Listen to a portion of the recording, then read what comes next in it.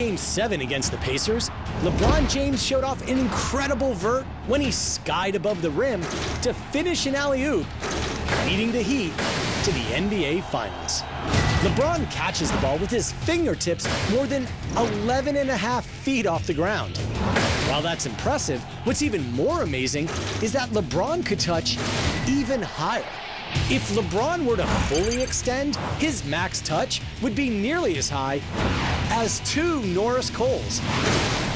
To elevate his 250 pound body that high, LeBron pushes off the court with an estimated 1,600 pounds of force and reaches a peak power output of about 9,200 watts. The end result is a flight time about the same as the current world record for the long jump.